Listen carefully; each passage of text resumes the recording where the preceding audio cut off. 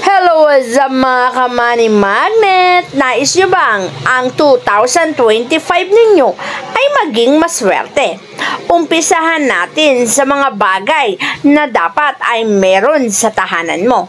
Para sa ganon ay swertihin ka, siguraduhin mong ang tahanan mo ay may mga pagkain at hindi nauubusan ng rep.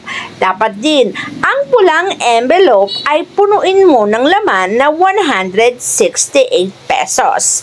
At pag may 168 pesos na yan, ay ilagay mo yan sa altar o kaya naman sa likod ng pintuan. Pwede mo ring ipasok sa loob ng tahanan ang isang pasabit na nagbibigay ng swerte. Huwag mo ring kalimutan na maghanda ng mga bilog na prutas na nagbibigay ng maraming kaperahan sa iyong buhay.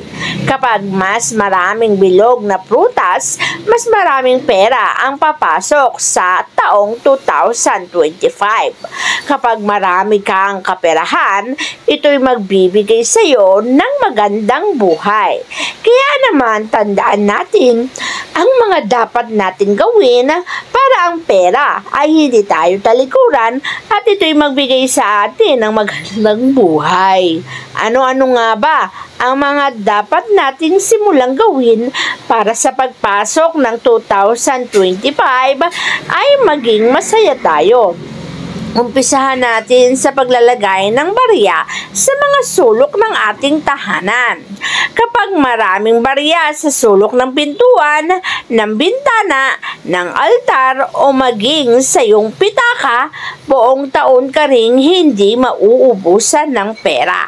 Kaya siguraduhin mo na ang taon mo ito ay magbibigay sa iyo ng magandang buhay.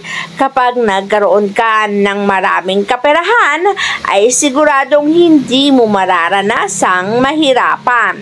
Kaya naman ang bawat barya sa bawat sulok ng tahanan ay siguraduhin mong meron kahit mga 8 pesos lamang. Sapagkat 8 ay infinity o walang katapusang blessing. Kapag kasi nasisiro o walang laman ang mga sulok ng tahanan o maging ang pitaka mo, ay magsisimula ring maubusan ng kaperahan ng mga tao sa iyong tahanan maging ikaw mismo. Huwag na huwag mong sinisimutan ang pitaka mo kung ayaw mong magkaroon ng problema pagdating sa aspeto ng kaperahan. Ang pera kasi, mas marami sa tahanan, mas marami ding maa-attract na magandang buhay.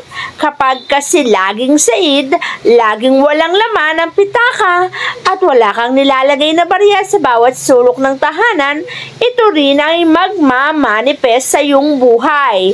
Palagi mong mararamdaman na wala kang pera at palagi mong mararamdaman na zero balance ka. Pagdating naman sa iyong pitaka, siguraduhin mo na ang paglalagay mo ng pera ay maayos. Ang maayos na paglalagay ng pera sa loob ng pitaka ay magbibigay din ng maayos na buhay. At syempre, sa pitaka mo, huwag kang maglalagay ng barya. Ilagay mo ang pitaka o coin purse, doon mo ilagay ang barya. Kapag meron ka mga digital na ginagamit, pag sa lubong ng bagong taon o bago pumasok ang 2025, ilagay mo sa calculator o mga digital na gamit mo ang 1 million pesos. 1 million o kaya naman sa kaha para sa ganun, buong taong may 1 million ang kaha mo. Buong taong kang magkakalculate ng 1 million. Ito kasi ang tinatawag na manifestation. Mas marami kang namamanifest, mas maraming swerte ang papasok sa iyo. Tandaan mo, ang isang box o isang lalagyanan na walang laman ay maaari ding makapag-manifest ng zero balance sa tahanan. Kaya't huwag mong hahayaan na ang box o kaya naman ang mga box na yan ay zero o walang laman kung ayaw mo na ikaw ay mahirapan sa buhay. Huwag mo ring hahayaan na walang laman ang pitaka kung ayaw mong ma-zero balance ang iyong buhay. Ang pagkakaroon ng laman ng pitaka ay nagbibigay ng magandang magandang buhay.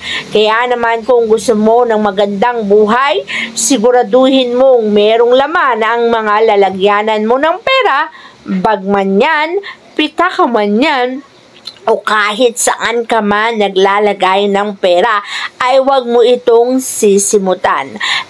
Tandaan mo na ang buhay natin ay nakasalalay sa kung paano natin ginagawa ang pag-attract ng kaperahan sa buhay natin. Kapag mas maraming pera ang nasa tahanan, mas marami din pasok ang datong sa ating buhay. Pero kapag palagi mong sinisimutan at sinasaira ng iyong pitaka, ito rin ang magaganap sa iyong buhay. Kaya tandaan mo, kung nais mo ng pagbabago, Huwag na huwag kang magsisimot na kahit singko. Para sa ganon, ang maging balik nito sa buhay mo ay maganda at magandang resulta. At ang magiging balik din ito sa buhay mo ay walang iba kundi magandang buhay na ibibigay nito sa iyo. Ang paglalagay ng pera sa pitaka ay sumisimbolo rin sa kasaganahan.